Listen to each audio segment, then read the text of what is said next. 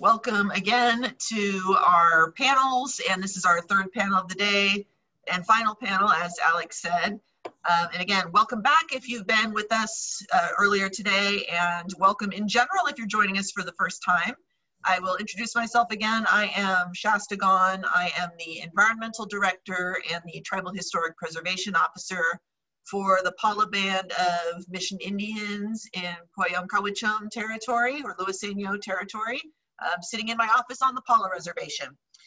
And I'm very happy and excited that these wonderful panelists are here to talk with us about building resilient communities.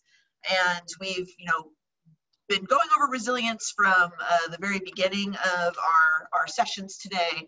And wrapping up with communities, I think, is the most important thing. We've done extremes and we've done ecosystems, but really those extremes and, and those ecosystems are all impacting human communities. So I'm going to have each of our panelists spend a little bit of time introducing themselves and uh, start with, uh, now I'm going to say her whole name because I know the whole name and we already talked about this, Nicolette Elvira Cooley. oh, I just love it. Yat e adet na so kaigi she e Nikki Cooley or Nicolette Elvira Cooley dashijine. Kenya ani nishna look at the nebashish chink as a tlana e dashinale. Tháhead lína é de si sé. Seaáda dá bestad is deiscíis de é náise a chud áí duine a san nisle. I just introduced introduced myself to you as a Navajo woman. I come from Shonto and Blue Gap, Arizona, with northern and eastern Arizona. And I am of the Towering House clan, born for the Reed people clan. Maternal grandparents are from the water that flows together. Paternal are from the um, Many Goats Clan. And this is how I always introduce myself to you and anybody else as a Navajo woman. Um, I am the co-manager for the Tribes and Climate Change program, and we are within the Institute for Tribal Environmental Professionals, and we're based out of Flagstaff, Arizona, um, under the Dook'o'oosłííd, which is one of our sacred mountains. And um, really happy to be here today. So, yeah. Thank you, Nikki. And uh, I'm going to move it over to Kristen Vandermolen. Thanks, Shasta, and thanks everyone. Um, I appreciate the opportunity to participate in, in today's events. Um, so I am part of the research faculty at the Desert Research Institute, um, which is a research institute based in um, neighboring Nevada. So I work out of a Reno based campus, but most of the work that I do takes place in California. Um, and so the work that I do is focused on the human dimensions of climate change. So understanding the impacts of climate change to communities and then working with groups of researchers, the communities themselves, uh, different groups of stakeholders and often government entities to think and, and work collaboratively to address those impacts. Um, some examples of the, the work that we have going currently or have been doing of late are um, helping small and medium-sized businesses to adapt to wildfire impacts um, in Northern Central California, um, working to um, help communities in Southern California and Northwestern Mexico um, self-protect against extreme heat, and working with agricultural producers in, in Northern California, Southern Oregon, and soon in um, Southern California and San Diego County specifically, um, to adapt to the impacts of climate change. Um, and I will say that, that a lot of the work that we do takes place in locations that experience um, particularly extreme impacts from climate or locations that have been um, experiencing impacts on, on kind of a longer timeline or, or otherwise um, repeated um, impacts. And, and our reason for doing so is that they're often good places um, to generate uh, lessons learned from, from what people have been doing and what communities have been doing to adapt and to work toward becoming more resilient. Um, and then for us as, as researchers and um, groups working on those issues to think about their generalizability to other regions uh, that might be on trajectories toward um, you know experiencing more more more um, more extreme impacts themselves or, or more frequent impacts themselves um, so that is in summary what we do All right, thank you, Kristen. And now Dorette. You're muted. Hi, I'm Dorette Quintana English. I, I, work for the California Department of Public Health in the Office of Health Equity. Um, I work on the BRACE project, which is the Building Resilience Against Climate Effects. Um, and in my work, I've worked with local health departments, tribes, and across agencies to infuse uh, climate change knowledge as well as um, issues of equity and inclusion and justice. And personally, I'm from California. I was born in Oakland, California. I've lived um, in the Sierras for around 30 years and recently returned to the Bay Area. So I could join this team um, six years ago to participate in working on climate change after experiencing extreme uh, weather, wildfires, and heat in the Sierra Nevadas over the last 30 years, increasingly and in, with more frequency and intensity. And felt like I needed to um, put myself in a place where I could have a broader impact than my local community. My, my background um, in environmental health started with um, working with a small group of residents in Plumas County, and we um, successfully petitioned the U.S. Forest Service to stop spraying 2,4,5-T on the uh, Plumas National Forest. And our research was so compelling that the U.S. Forest Service put a 10 year ban on spraying uh, herbicides across the whole nation rather than um, CS in court.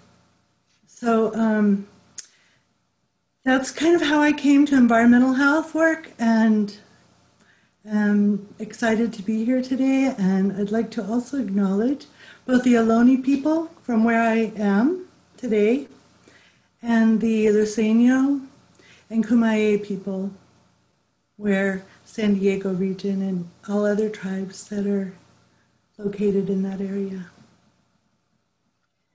Thank you, Dorette. And Will, um, glad you were able to, to join us after Connor stopped bending your ear. so please introduce yourself.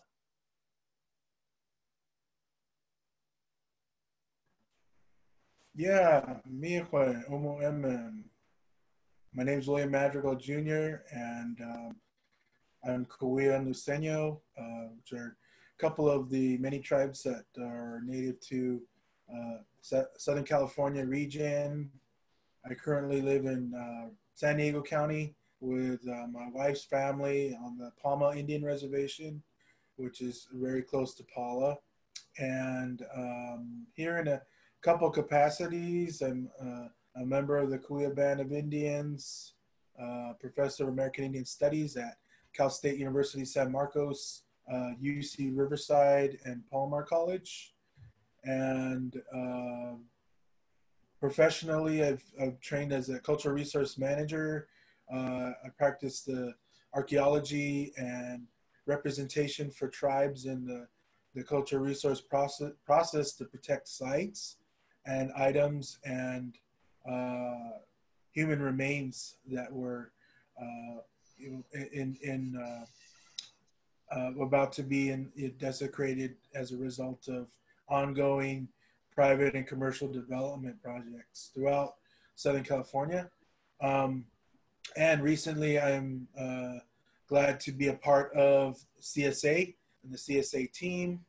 Um, and uh, a new addition fairly recently came on board uh, about a month ago.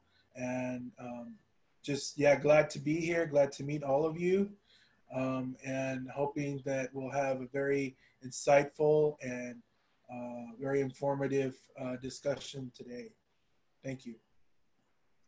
Thank you, Will. And I, I, have no doubt with this tremendous panel that we're going to have uh, a wonderful conversation. And uh, since we're talking about community, I, I want to start it out um, with Nikki actually, and, and probably come back to you as well, Will But as you know, this, this climate change work that we do, it, it goes across the boundaries of communities.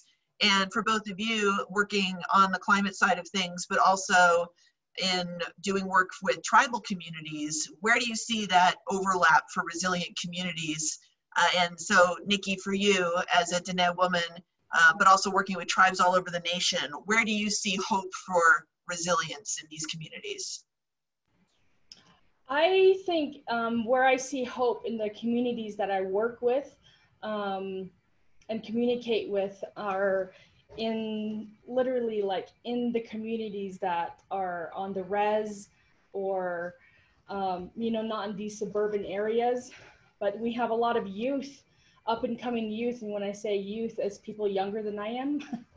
And uh, and and and also the elders too would like we're really coming together um, that are living on the reservation some without running water or electricity because they choose to do so but also they're trying to bring more renewable energy like solar and wind power uh, power onto the reservation lands and whatnot. And um, it just gives me goosebumps right now to think about the people, the young people that are really doing what it takes and that's um, doing it within the communities. They're working with the elders. They're caring for each other.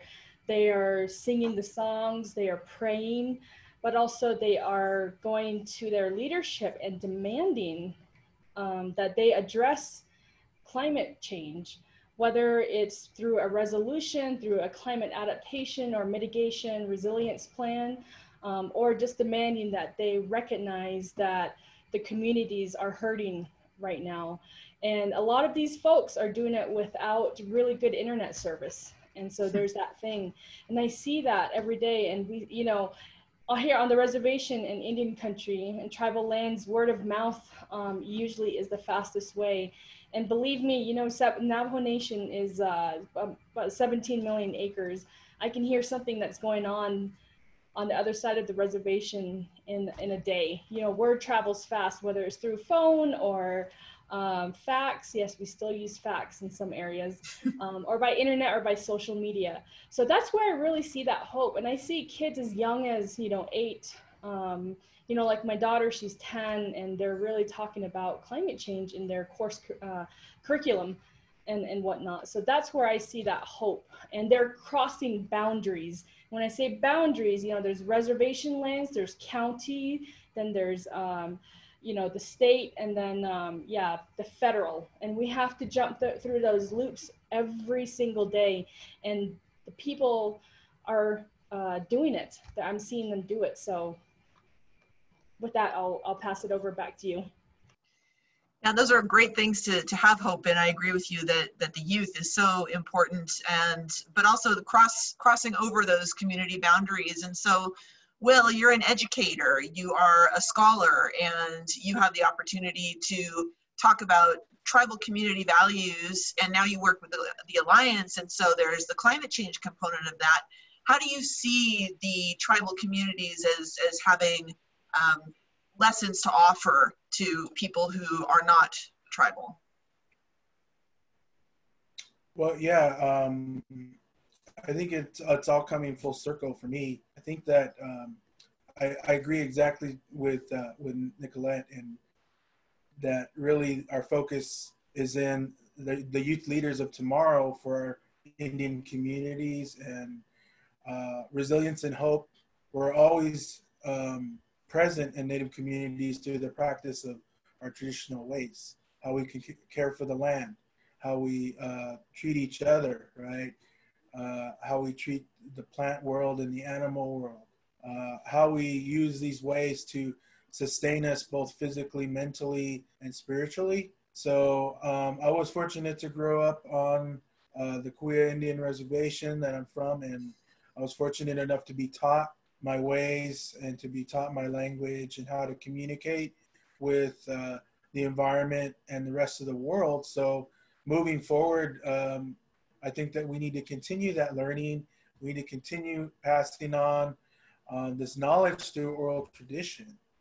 And uh, we now have modern ways to do that. So whenever we talk about, you know, the disparities created by climate change on the reservations, I think that we already know the solutions and answers to those because they're ancient and then, they're from the beginning of time, really. And uh, we just need to come back to them. We need to revitalize them, reclaim those things, and put them into practice uh, by educating our, our, our, families and our youth. So, uh, I, so I tried to strive to do both as uh, a member of my tribe and as, as, as a uh, college professor, uh, as a teacher, you know, to try to, to reorient everyone and uh, also, you know, non-Indians as well, bring them into the conversation that this knowledge exists and Indian people are willing to share it with uh, the rest of the world through through various ways. Um, and so I'm hoping that um, through CSA we'll continue to do these type of collaborative projects that are very meaningful and, and very educational for everybody who's involved. And they're starting to create more and more of an impact in both the Native communities and other communities. So I'm very optimistic in the work that we're doing together and the bridges, the cultural boundaries that we're we're overcoming, right? To work together, to see things from each other's perspective, to bring the Western science together with the indigenous science, which is epistemic knowledge, the knowledge that comes from the beginning of, of time. So uh, I'm hoping that uh, that that we will continue that work together and that we will strengthen our our collaborative efforts together. Good, thank you, and I and I thank you both for that willingness to to share because you know community.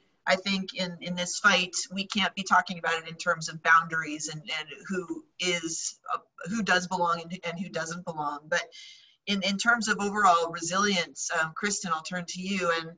Uh, I I'm sorry that my geography is not that great, so I'm just sort of randomly thinking you and Dorette, you're both in Northern California, so I'm going to assume there's a fire burning somewhere near you uh, at this moment. You said you're in the, the Tahoe region, so I don't know if it's close, but can you talk to us about what the climate effects are on the resilience of, of communities where you are?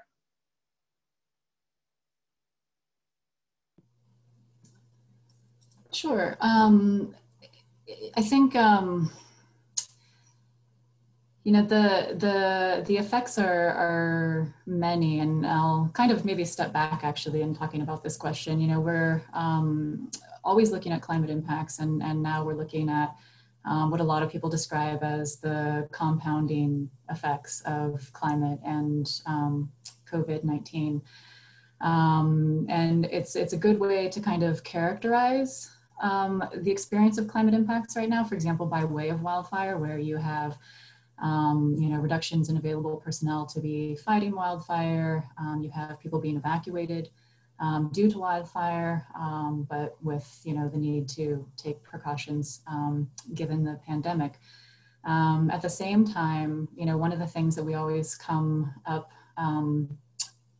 eh, eh, or one of the things that comes up in, in our work is is that there are always multiple multiple layers multiple challenges multiple issues um, coinciding with whatever the particular climate impact is um, and whether that's to an agricultural business um, you know a, a restaurant um, a farm worker community um, what have you. And and so um, some of the things that, that we're looking at currently are, you know, not only how wildfires are, again, this summer impacting businesses in that kind of North Central California area, um, but how, um, how, how those impacts are uh, interacting with those other layers of challenges that are always present and then the additional layer um, and compounding effect of, of COVID-19. Yeah, many challenges that we're facing. And speaking of COVID-19, Dorette, you know, with the public health aspects of this, there are multiple community challenges eh, as far as the health impacts of climate change in our communities. So can you address what you think some of the most significant impacts are and from the health perspective? Don't forget to unmute. hey, um, you know, there's so many intersecting um, threats and risks and hazards and, and I think, you know, we're really looking to at the underlying um, and historical um, disproportionate impacts from poverty and unequal distribution of resources in our society. Um, and marginalizing of different populations in different ways so that um, they're much more um, vulnerable right now to the air pollution that's coming from this wildfire smoke, to COVID 19, and other um, threats that we're dealing with. And, and I think if you overlay those um, on a map, you would find that they also are um, the same areas that have been affected by redlining and housing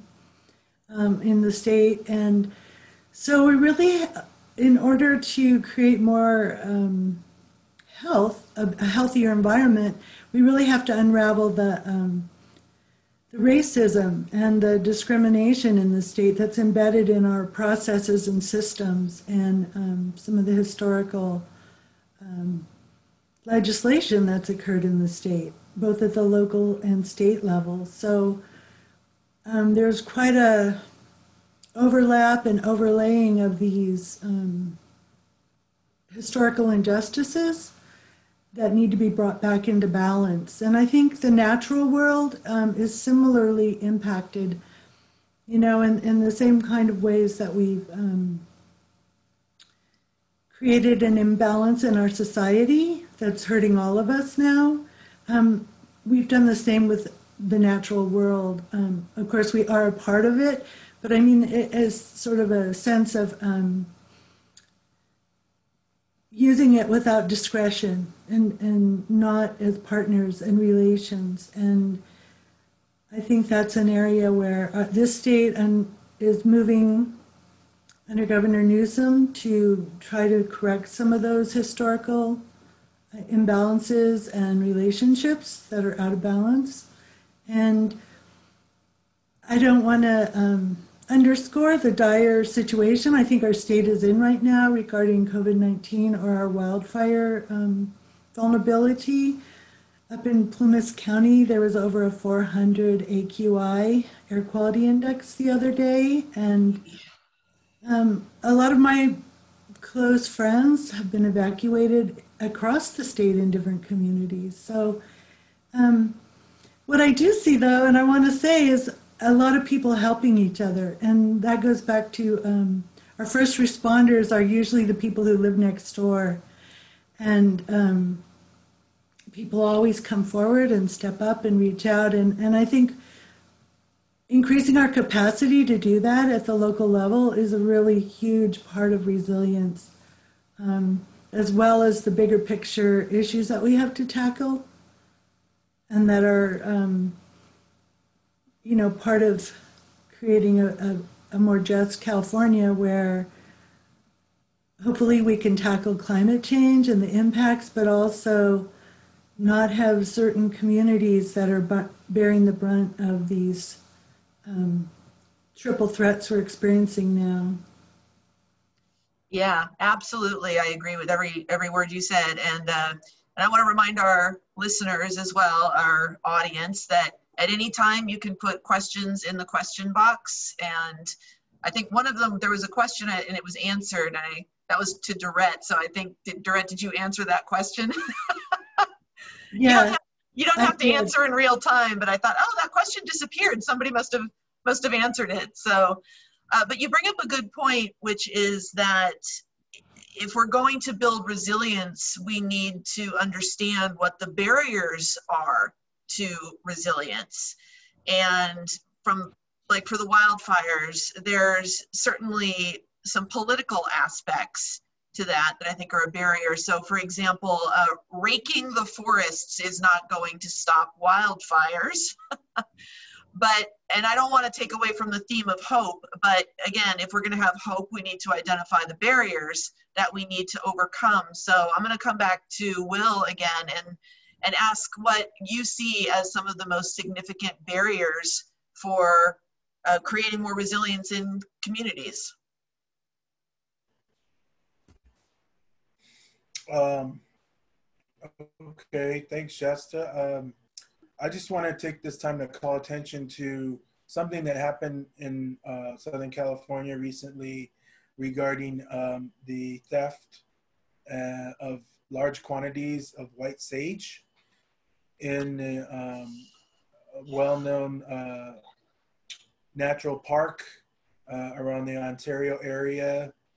Um, there are many Native practitioners in the area that that are also my elders that were contacted by the park um, to help uh, uh, address this situation and also to take possession of the hundreds of pounds of of, of uh, sage that was that was illegally pilf- pilfered from the park area. And uh, I think that this really um, brings to attention the, the disconnect that that is out there in the public right?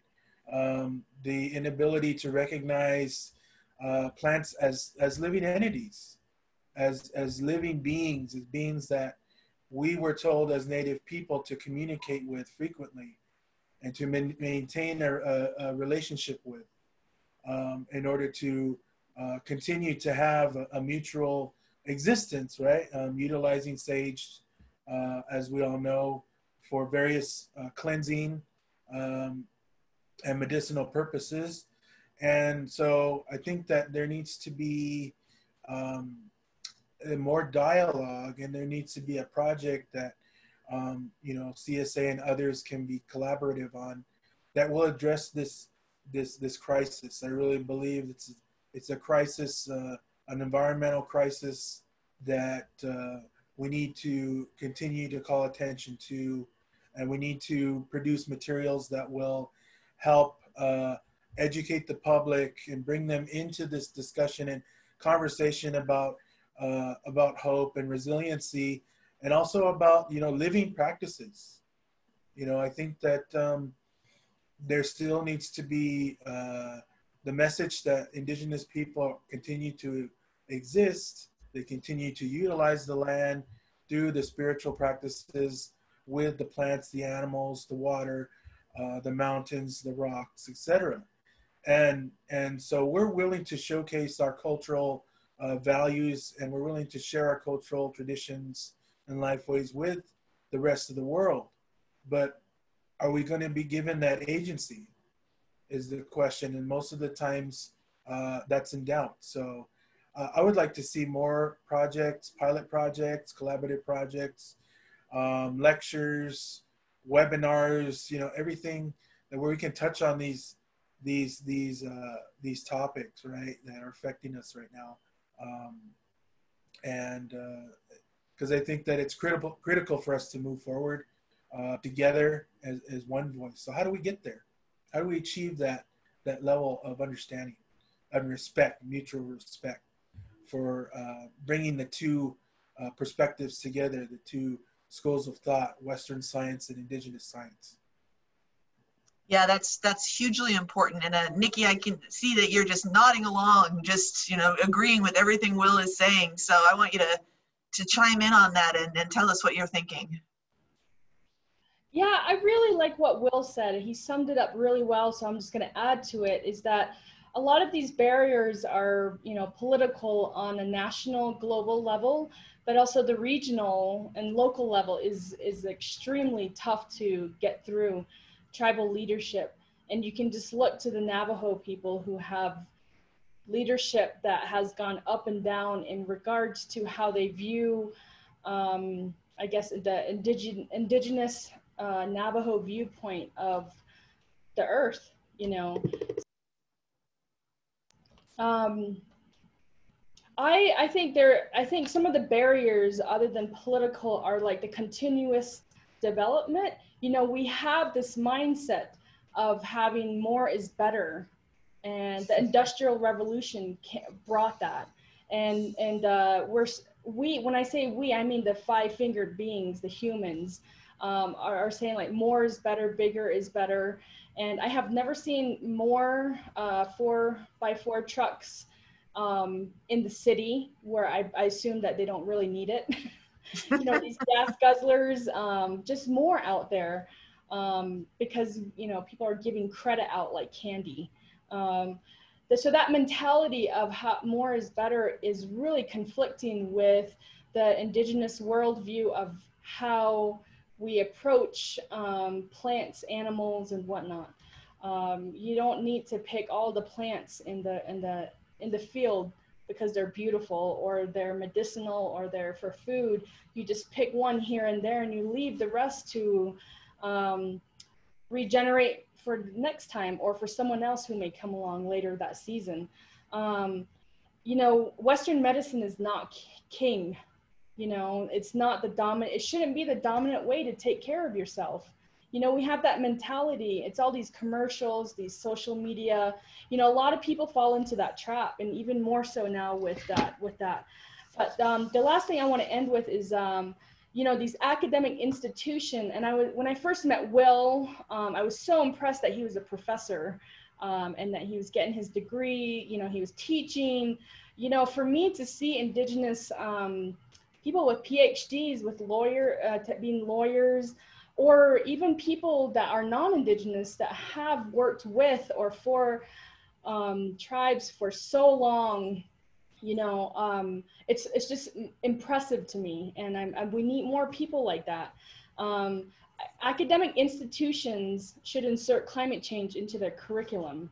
Faculty and staff should be the elders from the community. Um, you know, here at Northern Arizona University, we have tribal elders on staff. They're like, they're actually staff. They don't have, they don't necessarily need to have PhDs or, um, uh, you know, what is it, the Juris Doctorate, um, all that stuff. So that kind of stuff, if we're more inclusive, I feel like we can be more, um, well-rounded to um, approach climate change. And I think that's what Climate Science Alliance is doing. I see Desert Research Institute doing that quite a bit. Dorette is always asking, um, you know, everybody to be involved. She involves everybody. So everybody on this panel, and I know I recognize some people in the participant box that are doing that. So we need to just get that out there and get everybody on our side. So with that, I'll throw it back to you. Well, and that's a great point. I think we have a community of practitioners together who are all working in this this same area. But from the the human standpoint, or as you say, you know, the the, the five five fingered beings, uh, we're we're putting ourselves into situations that I think exacerbate the the effects. So so Kristen, I want to ask you about that. And this is actually a question from one of our previous panels, but you probably have some insight on this you know, with more and more human beings like pressing themselves into these urban environments, you know, can you tell us a little bit about some of the the best practices or what's the thinking about adapting to heat stress in these like crowded urban environments? Um, sure, that's a good question. Um, incidentally, the, the work that we're doing on um, heat impacts is actually primarily in, in rural areas. Um, oh. Yeah, and so so focus sort of um, in the Imperial Valley region, and the yeah, and um, our our reason for focusing on rural areas um, is in part because a lot of attention has been given to urban areas, um, particularly with um, all of the work that's been done on on urban heat island effects. Um, and so we wanted to focus in on rural areas, particularly since those tend to be where um, a lot of our farms are, and a lot of farm workers are working outside under really hot temperatures, um, and where there are a lot of um, structural issues and inequalities that get in the way of people being able to take protective action um, to, to mitigate the negative um, health impacts of heat. Um, so, and, and it's kind of interesting, and this gets back into some of the um, comments of other panelists just now with respect to barriers because um, in, in you know, coming together as, as researchers to try to help communities, and in this case, farm worker communities, um, adapt to extreme heat or to be able to uh, effectively protect themselves against extreme heat, we run into those issues of inequality. Um, so, you know, we can do as much messaging as, as we want and we can spend as much time as, as we want um, ensuring that the messaging is effective in the degree that it's comprehensible. Um, and we can work to, um, we can work on forecasting to try and forecast uh, extreme heat episodes and heat waves at longer lead times to inform people in advance. But if at the end of it, Um, people are facing economic disincentives to protect themselves against extreme heat or if they fear repercussions like job loss, um, if they, you know, take, take um, protective measures, um, or even if they seek the help that they need when they are experiencing heat related illness, then um, there's, there's, you know, those things constitute pretty significant barriers. And then um, for us as researchers, kind of force us to redirect and rethink efforts as to um, how we can work toward overcoming those uh, barriers and, um, and, and actually being effective in these more rural areas where um, there, there is a lot that gets in the way of people being able to protect themselves.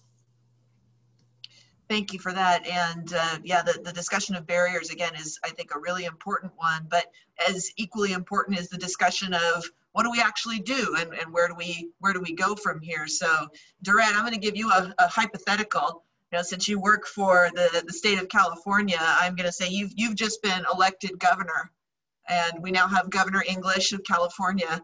Um, tell us, Governor, how are you going to uh, support people and communities as they adapt to the effects of climate change?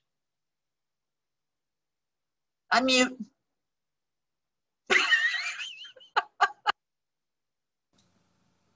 Can tell I'm a technical genius, right? well, that is a huge um, undertaking. And right now, uh, you know, in terms of local communities, I, I think we would need a, both a top down and a bottom up grassroots and grass tops connecting together. Um, I think some of the work you've been doing with the tribal organizations and tribes across the country in terms of getting adaptation plans in place really sets the stage and, and Nikki also has been engaged in that work across the country um, to identify what are the things that are needed at the local level to what kind of resources what kind of inclination do local communities have. And then i, I think the um, the state is very much interested in responding to those needs and providing resources within the, the scope of its capability, um, which right now, unfortunately, is stretched pretty thin because of the COVID 19 um, pandemic and the way it's so rapidly changed our economic outlook. Um, so I think there's so many um, policy levers and ways that different agencies can respond.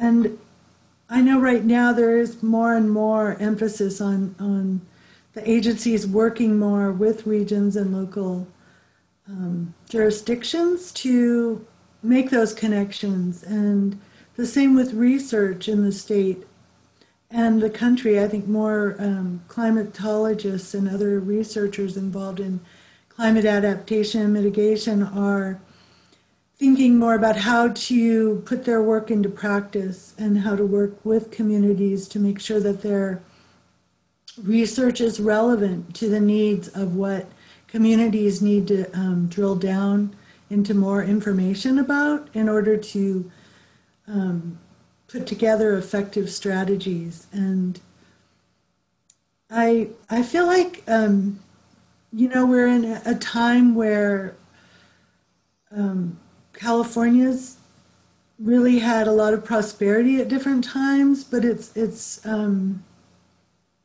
it's always come at the expense of, of certain groups, or even speaking of our farm workers. You know, um, Kristen just brought up.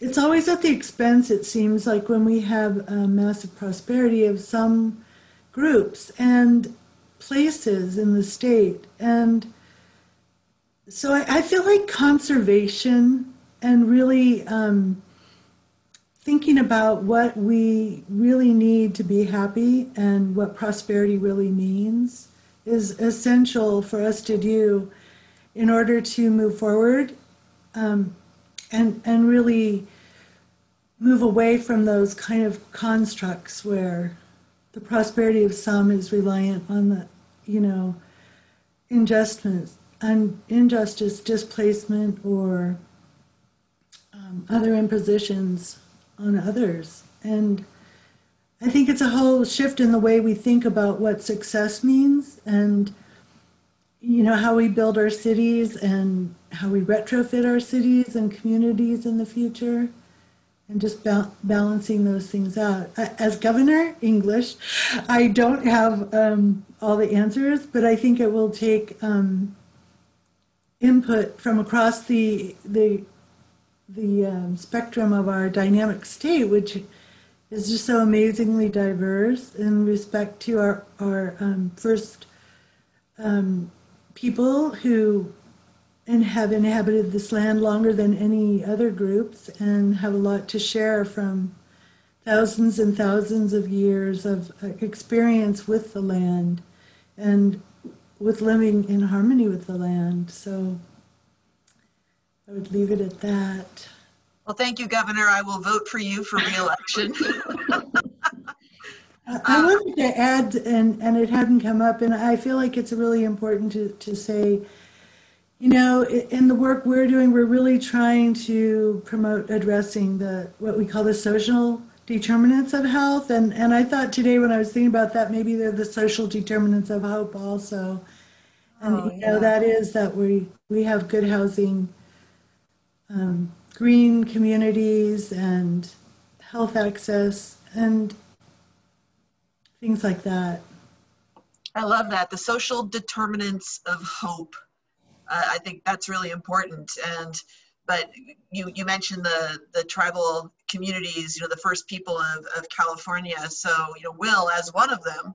Uh, this this comes back to you. Uh, can you speak to how some of the say some of the um, engagement strategies or solutions in California are maybe not being are not working as well for tribes because of the the nation to nation or the government to government relationship do you think more can be done to bring california's first people into the conversation about climate resilience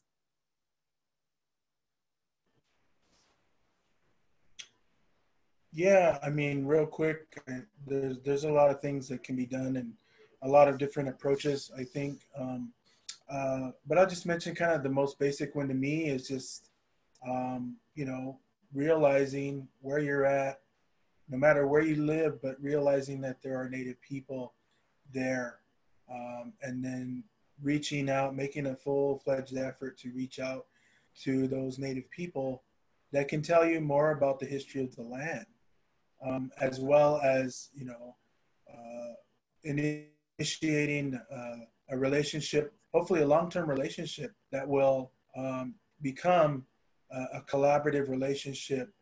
Um, so what, what, whether you're you work for the state, state agency, federal agency, um, county agency, or city agency that um, needs to address immediate disparities caused by climate climate shift. Um, you know, uh, a lot of times, you know, it, it, it behooves you to do the simplest thing and, and thinking about approaching tribes is just giving them a phone call, you know. Um, a lot of uh, tribes have their own website with their own contact information, and it's as simple as just, you know, Googling, you know, and finding those, those resources. So um, I like to see a lot of, you know, just uh, initial consultation or whatever you want to call it, you know, just reaching out to the local people, to the local indigenous people of whatever area that you serve. And I think that this will um, make a huge impact on how uh, the, the entire, you know, um, thinking on climate change and climate strategies, um, you know, how they, it will shape the future of strategies in the future. Yeah, thank you for that. And I think that that applies uh, not just in California, but in other states as well. So, you know, Nikki, of course, with the Navajo Nation, you are in Arizona, you're in New Mexico, you're in Utah, you're in Colorado. What do you think those those jurisdictions and even the federal government, what would you like to see them bring to the Navajo Nation to help with climate resilience? Uh, probably, um, if I were dreaming, I would say probably um, more um, collaboration, more resources. And, you know, funding is always something that we all can use.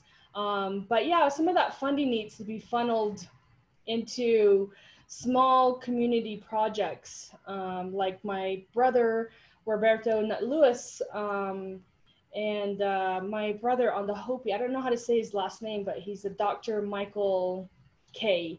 And that, but they're doing these small uh, farm restoration projects using like indigenous methods that were passed down uh, since time immemorial. And yet they pay for their own, or you know, you get somebody like the Christensen Fund to pay for some of their the work. Because you know that's hard work. It takes a lot of um, manpower. So they're that's how they're engaging youth engaging youth.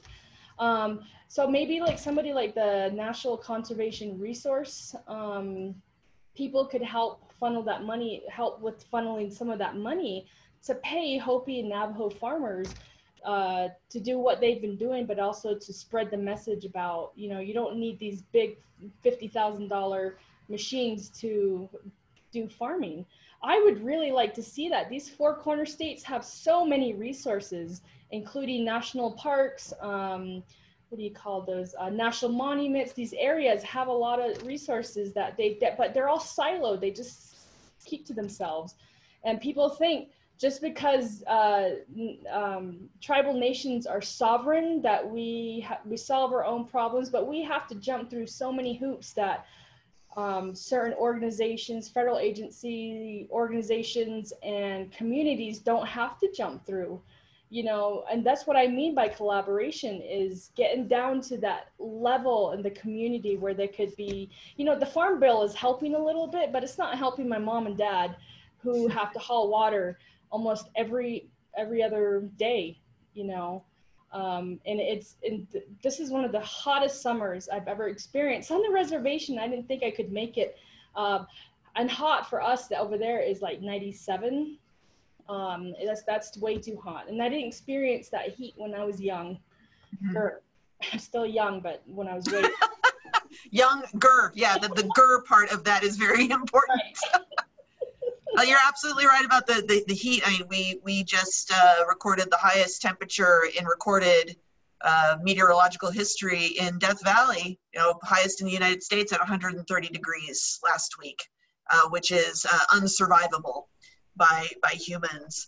But um, you know, let's. We have a lot of questions coming in from our from our audience, so I want to I want to bring up one since we're talking about crossing boundaries in terms of collaboration. So the question is that what kind of mutual aid have you seen emerge during the pandemic that could be tailored to the climate change space? And you know, I'll let any of you volunteer to answer that, but I'm, I'm kind of looking over at the the Dorette and Kristen side of the, the screen right now.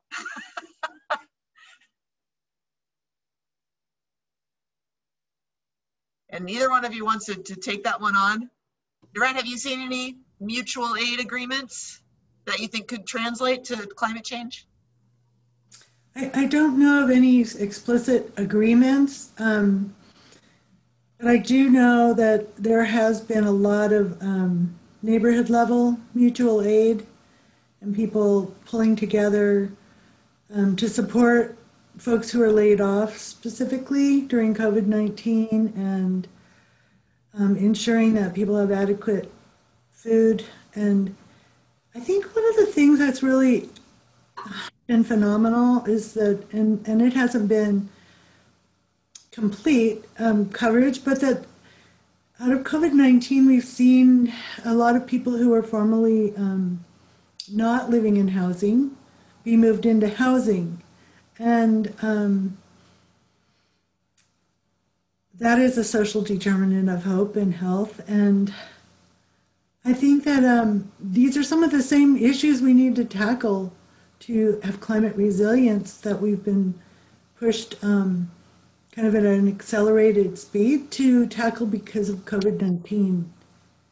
And um, I, I, can't say at this very moment um, off the top of my head the mutual aid, um, but I, I know there are many, and there's a lot of conversations going on around the state about them. Um, one, one of the organizations I be, became aware of more recently too is a um, coalition of caregivers that were in New York City, um, where, as you know, they were really had a, a big outbreak and and and I think they're a big part of also um, protecting and keeping communities resilient. There's those people who are taking care of children, our nurses, our doctors, our people taking care of our elders, and people with disabilities who need that kind of support, and making sure they're part of the um, story. And they refer to themselves as the caring economy, and I I really like that, and um, I think it speaks to mutual aid also. Um, a lot of the caregivers in our society are unpaid and at the personal sacrifice to themselves provide that care. I love that as well, the, the, the caring economy. And I think that needs to be a part of our definition of community, your community because you care. And Kristen, in your work with the effects of heat, have you seen anything in, in people helping each other out in these extreme heat events that could translate to other climate impacts? Um, yeah, so um, in the work that we're doing on, on heat um, and health impacts in rural areas, we often partner with um, independent groups that work with farm worker populations, so nonprofit organizations um, that often have really deep roots in the community and um, advocate for farm worker communities um, across issues. And we, the, the work that we've been doing on heat health has been disrupted um, because of the pandemic and it kind of became disrupted right at the point where we were starting to work with those types of organizations. Um, on the issue of heat and health, but there are plenty of examples um, in, in those organizations and others um, where they've been advocating um, for the health and well-being of local communities related to other climate-related issues. Um, so certainly a lot of um, examples out there. Good, yeah, I'm glad. It's nice to take what we've already done and adapt it to new circumstances. And uh, I, I, want to acknowledge that I have been uh, corrected by Sir Alex Tardy of the National Weather Service uh, on the Death Valley temperature. He says, highest at Death Valley since 1913. The 134 degree record apparently still still stands. So so thank you, Sir Tardy. uh, we just have a few minutes left. I want to remind our attendees that if your question wasn't answered, you can add it to the Padlet app that our panelists can look at later and hopefully get an opportunity to answer you. And I want to wrap this up as I did with the other three or the other two panels on asking each of our panelists where they find hope. So, uh, Will, I know you talked about this a little bit already, but I'd like to hear from you uh, briefly. Where do you find hope for community resilience against climate change? Yeah, I really enjoyed everything that was shared today by you all.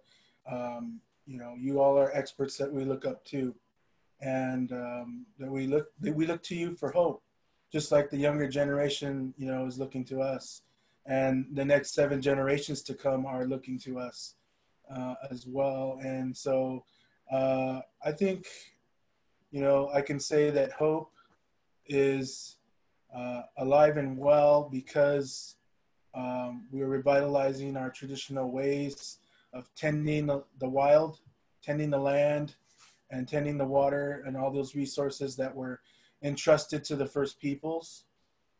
And what it comes down to in reality is that, yeah, we need a lot, we need to bolster more support. We need more funding from federal, state, local agencies, right? Um, to, to strategize and then put into practice some pilot projects that, um, you know, ha have to do with everything from you know traditional burning to you know some of these um, ways that we're trying to bring back uh, climate resilience, right? Um, and and we can uh, the best way is through education. The best way that I know as an educator, right, is to reach out um, through uh, these entities that are, be, you know, coming up, you know, like Climate Science Alliance, um, tribal entities as well. They're, you know, each tribe is its own government. Each tribe, you know, has its own area that it's responsible for being stewardship to. Um, so I think that hope is all around us. Hope is it's it's tangible and it's visualized through the efforts that are happening today, the efforts uh, that um, we're all as citizens of the world are are contributing to, right? And and that we are calling to attention these disparities. We're calling to attention these criminal acts of of theft and and of, of our natural resources, right? And and also we're calling to to to light the the detrimental effects of ongoing commercial and private development. So I think that um, you know uh, the more that we cultivate the hope that we're experiencing and seeing today through through action, through art, through prayer, through uh, all, all these different ways of expressing it, you know.